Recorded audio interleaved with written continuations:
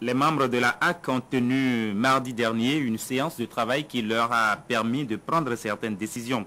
Trois au total rendus publics euh, jeudi et qui portent sur la délivrance des cartes de presse, une réglementation de la publicité en matière d'éducation au Bénin et l'actualisation de la liste des journaux et périodiques légaux pouvant paraître.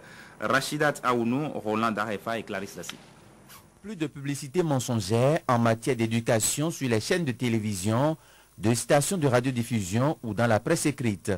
C'est là l'une des décisions majeures prises par la Haute Autorité de l'Audiovisuel et de la Communication en sa séance rendue publique ce jeudi. Une décision prise au regard des nombreux cas de désillusion de parents d'élèves qui se sont laissés prendre au piège de ces dix établissements. Un fait qui affecte non seulement les parents, mais aussi l'avenir des apprenants. La HAC a alors décidé de réagir.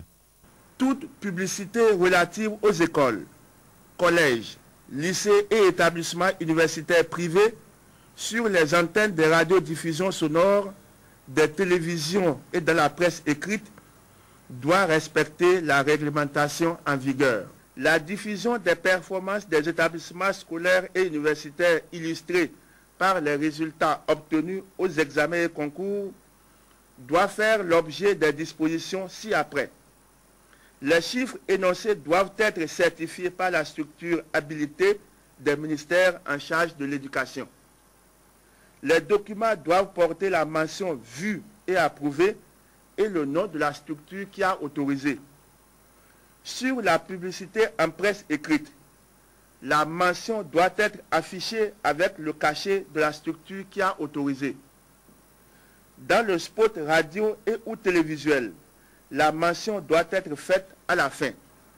Tout manquement aux dispositions sus-indiquées sera considéré comme une violation des tests et sanctionné conformément à la loi. Deux autres décisions ont été prises lors de cette séance de travail tenue mardi. D'abord, celle portant actualisation de la liste des journaux et périodiques ayant une existence légale.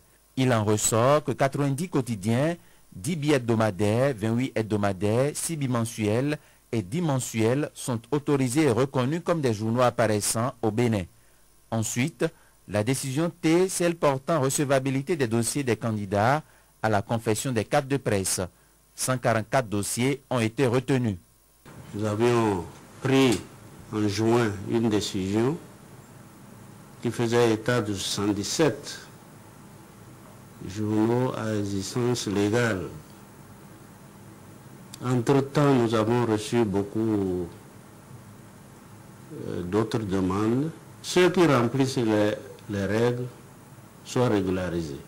Ceux qui ne les remplissent pas ne peuvent pas paraître.